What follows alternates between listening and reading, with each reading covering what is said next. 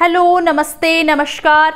मैं प्रबोधनी शर्मा उपस्थित हूँ एक नई वीडियो के साथ और इसमें हम बात करेंगे प्लाज्मोडेस्मेटा के बारे में। प्लाज्मोडेस्मेटा जो है, ये साइटोप्लाज्मिक इंटरकनेक्शंस होते हैं बिटवीन टू प्लांट सेल्स और इनकी हेल्प से दो प्लांट सेल्स जो हैं, उनके बीच में मटेरियल एक्सचेंज होता है आयंस मॉलिक्यूल एक्सचेंज होते हैं इनकी हेल्प से।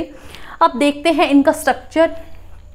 ये एक प्लांट सेल है, ये दूसरी प्लांट सेल है और यहाँ पे एक प्लांट सेल की प्लाज्मा मेम्ब्रेन जो है, दूसरी प्लांट सेल की प्लाज्मा मेम्ब्रेन के साथ कंटिन्यू है। इस तरफ़ से भी प्लाज्मा मेम्ब्रेन कंटिन्यू है एक सेल की, दूसरी सेल के साथ। और बीच में जो है, एक पोर क्रिएट होता है, जिस पोर में प्रेजेंट होता है डेस्मोटिब्यूल जो कि रेड कलर का शो किया हुआ है। ये डेस्मोटिब्यूल जो है, ये एस ई आर से डिराइव होता है स्मूथ एंडोप्लाज्मिक रेटिकुलम से ये डिराइव होता है।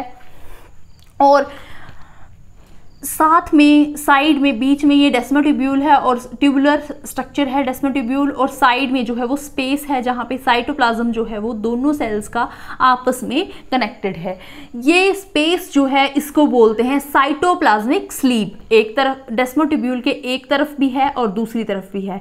और ये जो ग्लोबुलर ग्रीन कलर के स्ट्रक्चर बने हुए हैं, ये ग्लोबुलर प्रोटीन्स होते हैं, जिनको प्लाज्मोडेस्मल चैनल प्रोटीन्स के नाम से भी जाना जाता है। पी सी पी एस यहाँ पे लिखा हुआ है प्लाज्मोडेस्मल चैनल प्रोटीन्स ठीक है?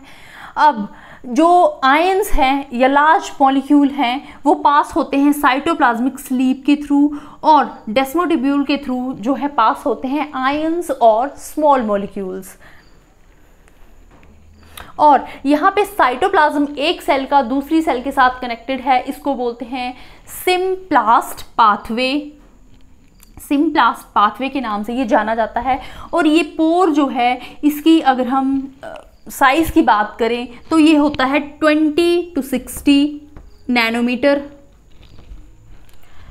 सो आज की इस वीडियो में हमने देखा प्लाज्मोडेस्मेटा। सो प्ला, so, मिलेंगे नेक्स्ट वीडियो में। Thank you